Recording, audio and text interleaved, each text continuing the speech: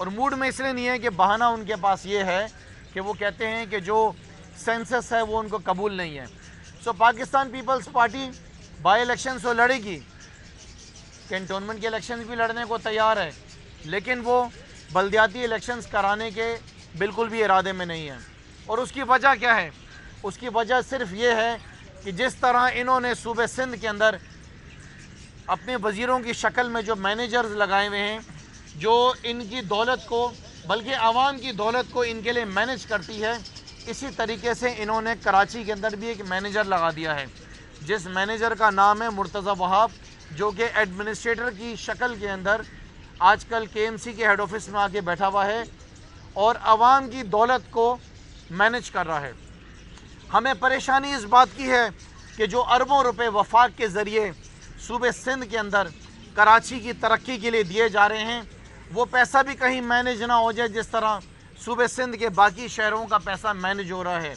कहीं तो पैसा किसी मैनेजर की ज़िम्मेदारी लगा के बिलावल हाउस के खर्चे अखराज चलाए जा रहे हैं। कहीं पे बरसियों की जिम्मेदारियाँ दी गई हैं कि किसी मैनेजर ने फ़लाँ बरसी पे पैसे खर्च करने हैं तो किसी मैनेजर ने फ़लाँ बरसी के ऊपर पैसे खर्च करने हैं। किसी की ज़िम्मेदारी लगाई जाती है वज़ीर की कि उसने 500 आदमी बसों में इकट्ठे करके लेकर आने किसी ने खाने पीने के अखराज और किसी ने इनकी दावतों के अखराज के पैसे पूरे करने हैं। पाकिस्तान तहरीक इंसाफ कराची का मैंडेट लेकर आई है। पाकिस्तान तहरीक इंसाफ कराची की बेहतरी जाती है।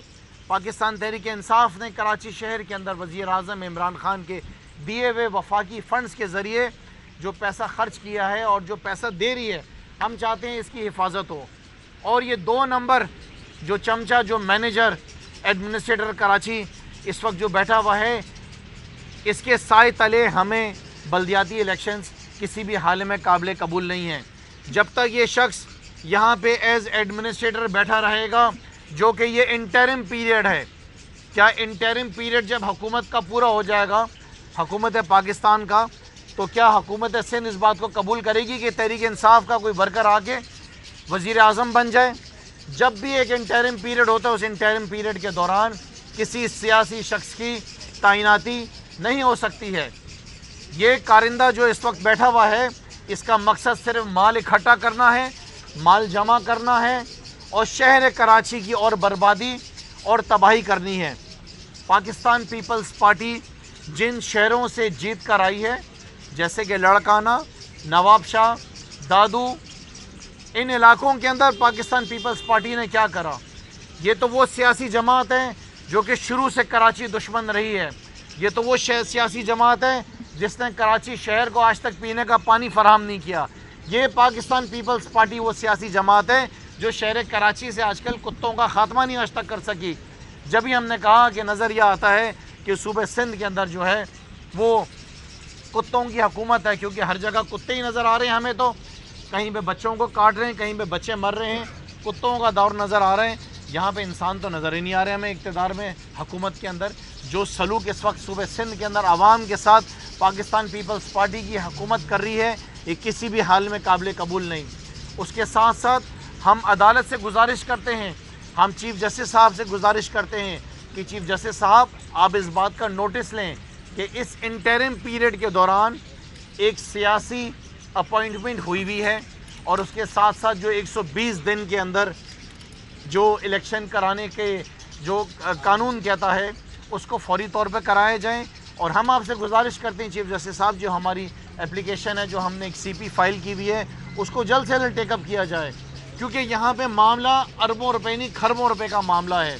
अरबों रुपए तो हमें मालूम नहीं, पिछले तेरह साल में पाकिस्तान पीपल्स पार्टी ने कहाँ खर्च किए। इस सूबे में इन तेरह साल के अंदर, इनकी हुकूमत के अंदर आवाम को तेरह बसेस नहीं मिल सकी। इस तेरह साल की पाकिस्तान पीपल्स पार्टी की सिंध में, हुकूमत में आवाम को सूबे के अंदर सफ़ाई सुथराई का निज़ाम नहीं मिल सका। इस तेरह साल में पाकिस्तान पीपल्स पार्टी की सिंध हुकूमत में आवाम को यहाँ पर सेहत का निज़ाम नहीं मिल सका। इस तेरह साल की सूबे सिंध में, पाकिस्तान पीपल्स पार्टी की हुकूमत में, बच्चों को स्कूलों में तालीम नहीं मिल सकी। यहाँ पे अमन अमान के हालात ठीक नहीं हो सके। आज आप क्राइम रेट देखें, शहर का, दुनिया के हर शहर को वो क्रॉस कर चुका है। लोग घरों से निकलते हैं, जब वापस पहुँचते हैं अपने घर तो किसी के पास अपना मोबाइल फ़ोन नहीं होता है, किसी के पास अपना पर्स नहीं होता है, किसी के पास ये अपनी गाड़ी नहीं होती है किसी के पास अपनी मोटरसाइकिल नहीं होती। बड़ी मुश्किल से कोई शख्स अपने घर में सही सलामत वापस पहुँचता है, अपनी माँ की दुआएँ लेके निकलता है और जब कर घर वापस पहुँचता है तो मालूम चलता है कि लुट चुका है। इस सूबे का वज़ीर आला जो कि नालायकी आला जो कि मैनेजर्स को लीड करता है सूबे सिंध में, जो वज़ीर मैनेजर्स हैं, जिसका काम ही सिर्फ़ माल इकट्ठा करके जरदारी तक पहुंचाना है। उसके हालात आप देखें कि उसको आवाम से गर्ज नहीं है। हाल ये है कि जहाँ से जरदारी जीत कर आया नवाब शाह से, वहाँ में भी सिंध की आवाम जो है वो सिस्कियाँ ले रही है। जहाँ से मुराद अली शाह दादू से जीत कर आया सेवन से, वहाँ भी लोग सिस्कियाँ ले रहे हैं। जहाँ से बिलावल जरदारी लड़काना से जीत कर आया वहाँ के लोग भी रो रहे हैं। सिंध के मासूम लोगों को पागल बनाया हुआ है। सिंध के मासूम लोगों की ज़िंदगियों के पीछे पड़े हुए हैं। करोना के दौरान स्कूल बंद हैं। करोना के दौरान खाने पीने के रेस्टोरेंट्स बंद हैं। करोना के दौरान अगर कुछ चल रहा है तो पाकिस्तान पीपल्स पार्टी के जल से चल रहे हैं। पीडीएम को इजाज़त दे दी कि जलसा करें। साथ में बिलावल ने यह भी कहा कि भरपूर शिरकत करें। जिस तरह स्कूल के बच्चों के लिए कहा गया कि उनके वालदेन कोविड टेस्ट करा के आएँ। तो काश मौलाना साहब को भी कह दिया जाता कि मौलाना साहब भी स्टेज पर टेस्ट करा के आते। वो जो शोबाज शरीफ साहब कल आए थे, वो शोबाज शरीफ, शहबाज शरीफ जो कि फरमा रहे थे कि अगर उनको मौका मिला तो वो कराची को शायद पेरिस बना देंगे। तो और कितने मौके इनको चाहिए कराची को पेरिस बनाने के लिए शहबाज शरीफ को? छः छः सात सात बारियाँ तो इनको मिली। वो फरमा रहे थे कि जो कराची के अंदर आज अमन है, उनकी तरफ़ से है। कराची में जो अमन हुआ, वो हमारी अफवाज पाकिस्तान की वजह से हुआ। कराची के अंदर जो अमन कायम हुआ वह हमारे रेंजर्स की, हमारी जो है, उनकी कुर्बानियों की वजह से जो है, कराची के अंदर अमन हुआ। जब इनका दौर था तो इन्होंने क्या किया? कौन सी खिदमत करी कराची शहर के लिए? क्या तीर मार लिए? वो जो दूसरे साहब, बड़े मियाँ बैठ कर वहाँ पर लंदन में फरमा रहे थे कि आवाम खामोश क्यों हैं? आवाम आवाज़ क्यों नहीं उठा रही उनके लिए? आवाम तो उस वक्त भी खामोश थी, जब जो है अब जनरल जल्लानी के जूते पॉलिश करके शायद आप उस वक्त वज़ीर ख़जाना बने थे, फिर दूसरे जनरल के जूते पॉलिश करके आप वज़ीर आला बने, फिर इसी तरह चमचागिरी करते करते आप वज़ीर अजम बने। आवाम तो उस वक्त भी खामोश थी, जब मॉडल टाउन के अंदर गोलियाँ लग रही थी। उस वक्त क्यों नहीं आँसू निकले इस शोबा शरीफ के? जब अवाम यहाँ पे सिस्कियाँ ले रही थी। लिहाजा पाकिस्तान तहरीक इंसाफ वज़ी अजम इमरान खान जिस तरह आवाम की खिदमत करी जिस तरह पाकिस्तान आगे बढ़ रहा है, जिस तरह पाकिस्तान का आज कारोबार बेहतर है, जिस तरह पाकिस्तान का आज एक्सपोर्ट बेहतर है, जिस तरह पाकिस्तान की आज स्टॉक एक्सचेंज बेहतर है, जिस तरह पाकिस्तान की दुनिया भर के अंदर आज एक बेहतर चेहरा बनकर सामने आ रहा है, इसी तरह हम तरक्की करते रहेंगे। शहर कराची के लिए पाकिस्तान तहरीक इंसाफ ने पिछले दो साल में जो रोल अपना प्ले किया है जिस तरह शहर की बड़ी सड़कें बनी हैं, Napier road, Nishtar road मंगोपी road बन रहा है छः ब्रिज नॉर्थ नाजमाबाद के अंदर बनाए बावन फायर ब्रिगेड्स कराची के लिए वज़ीर अजम साहब ने दिए। अब आपकी शहर कराची की ग्रीन लाइन की बसेस चाइना पोर्ट से रवाना हो चुकी हैं। अगले महीने या डेढ़ महीने के अंदर आपका ग्रीन लाइन इनाग्रेट होना जा रहा है। आपका जिस तरह फ्रेट कॉरिडोर बन रहा है के के ऊपर काम हो रहा है, कराची शहर के लिए के फोर मुकम्मल होने जा रहा है। जो तेरह साल पाकिस्तान पीपल्स पार्टी ने पच्चीस अरब रुपए ज़ाया करके बोला कि डिज़ाइन के ऊपर पैसे लग गए। आज शहर कराची के दो साल के अंदर जितनी गलियों के अंदर काम हुआ है, जो सड़कें बनी हैं, जो पार्क्स बने हैं, जो ग्राउंड्स बने हैं, वो तमाम पाकिस्तान तहरीक इंसाफ के एम और एम के फ़ंड से बने हैं। इन ताला इसी तरह काम जारी रहेगा। जिस पटिशन के तहत हम आज यहाँ पर आए उम्मीद कर रहे हैं कि दो दिन के अंदर वो चीफ़ जस्टिस की अदालत के अंदर लगेगा और इन ताला अल्लाह ताला ने चाहा तो इस एडमिनिस्ट्रेटर को भी उठाकर हम बाहर फेंकेंगे। ये जो माल जमा करने के लिए, जरदारी के लिए यहाँ पर आया है, कराची का मैनेजर बन के, क्योंकि बाकी तो वज़ीर इनके इंटीरियर सिंध के मैनेजर है ना। ये कराची का मैनेजर बन के जो जरदारी के लिए माल इकट्ठा करने के लिए आया है इन ताला इसी अदालत के तहत इसको हम बाहर निकालेंगे। और हमें यकीन है अपनी अदालतों के ऊपर, अपने जजेस के ऊपर, कि इसमें हमें इंसाफ ज़रूर मिलेगा। और आखिर के अंदर इन ताला, अदालतों के हुक्म के तहत इन ताला कराची सूबे सिंध के अंदर जो है, आप देखेंगे कि ये केस में हम कामयाब होंगे और जल्द आपके बल्दियाती इलेक्शन होंगे। आखिर में सिर्फ़ एक चीज़ मैं कहना चाहूँगा कि जो अब आपके कैंटोनमेंट के इलेक्शन हैं, बारह तारीख को, जो कैंटोनमेंट के आपके बारह तारीख को इलेक्शन हैं, इसके अंदर जो हमें ख़बर मिली है वो ये है, जिसके लिए हमने कल चीफ कमिश्नर से भी हमने मुलाकात की है, सिंध के, और हमने उन्हें कंप्लेन की है कि अंदाज़न हर वार्ड के अंदर हज़ार से बारह सौ वोट जो हैं वो ट्रांसफ़र किए गए हैं। उसका सबूत भी हमने कल चीफ इलेक्शन कमिश्नर को दिया है। हम इस बात का चाहते हैं कि इलेक्शन कमीशन इसका नोटिस ले, और हम ये भी जानना चाहते हैं कि नादरा का इसके अंदर क्या रोल रहा है। कैसे ये सारे वोट जाली वोट जो हैं वो ट्रांसफ़र हो गए हैं। तहरीक इंसाफ जो यकीन करती है वो साफ़ व शफाफ इलेक्शन से इलेक्शंस में बिलीव करती है और इसी तरीके से ईमानदारी के साथ जीत कर आके कामयाब होना चाहती है। शुक्रिया। चालीस के बयालीस लाख का एक फिगर दिया गया कराची के अंदर चालीस वोट है।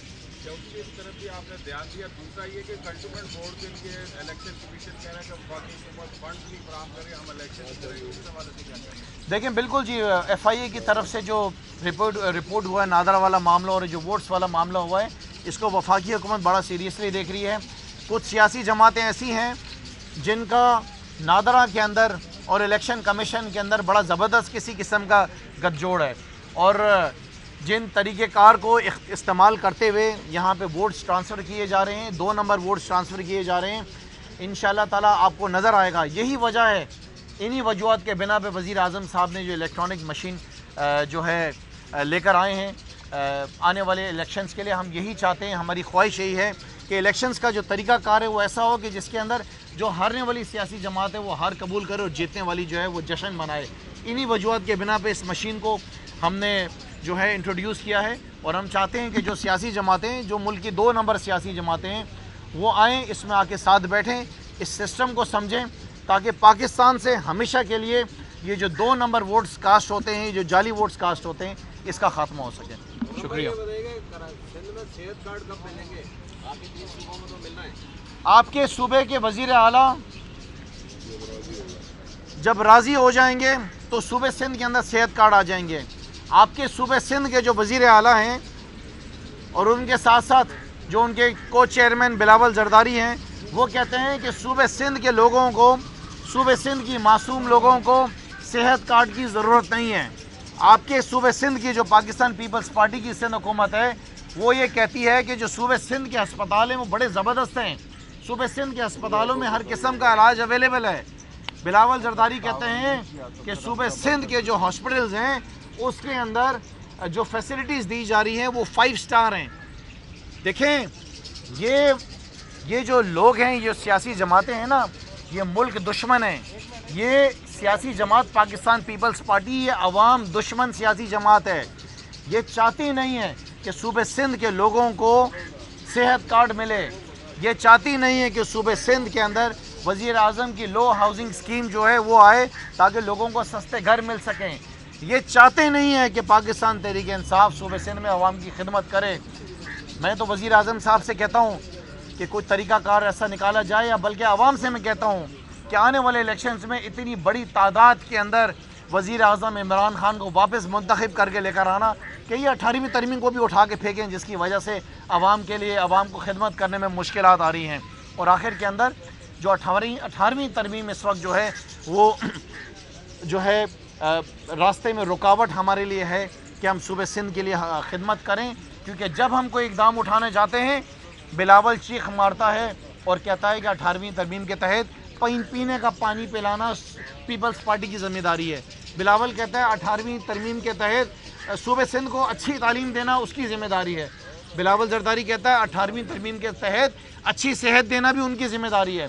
तो दो क्यों नहीं देते हो? क्यों नहीं आवाम को पीने का पानी देते हो? क्यों नहीं आवाम को सेहत की सहूलियत देते हो? क्यों नहीं बिलावल तुम बच्चों को स्कूल में तालीम देते हो? तुम नहीं दे सकते क्योंकि तुम नलाइक हो। तुम्हारा वज़ीर अला नलाइक है। तुम्हारे सारे मिनिस्टर बिलावल जो हैं, वो तुम्हारे मैनेजर्स हैं। ये सब तुम्हें माल इकट्ठा करके देते हैं। और फिर जब तो तुम कहते हो कि मैंने तो जब सियासत में जन्म लिया तो मैं खरबपति पैदा हुआ सियासत के अंदर। इसी तरीके से तो बिलावल, तुम्हें खरबों रुपए की जायदाद मिली विरासत के अंदर। मीडिया जानना चाहती है, पाकिस्तान की आवाम जानना चाहती है कि बिलावल जरदारी ने जब सियासत में कदम रखा तो वो उसने अपनी आँखें खोली, खरबों पति। दुनिया के बेशुमार ममालिक में बिलावल जरदारी की आज जायदादें हैं। बड़ी बड़ी प्रॉपर्टीज़ हैं। महल हैं। बिलावल जरदारी, ये कहाँ से महल आए आपके पास? ये अरबों डॉलर्स कैसे आए आपके पास? इतने अमीर आप कैसे पैदा हो गए? ज़रा बताएँ तो सही, ऐसा कौन सा बैकग्राउंड था आपका जिसके ज़रिए आज आप पाकिस्तान के अमीर तरीन जो हैं, सियासतदान हैं? शुक्रिया।